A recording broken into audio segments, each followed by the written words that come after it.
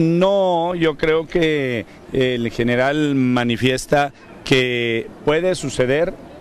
o ha sucedido en otros estados, en otras partes del país ya casi manifestaciones organizadas por eh, sin duda grupos del crimen organizado. Hasta ahorita en Durango eh, creo que esta manifestación desde mi punto de vista de los elementos y datos que yo tengo es eh, auténtica de la gente de la sierra. Pues sí, yo creo que el ejército está desplegando una fuerza sobre todo ubicada en la región lagunera, en su operativo, ubicada también en, la región de las quebradas, en donde históricamente el ejército se ha hecho responsable del combate al narcotráfico en el tan llamado Triángulo Dorado.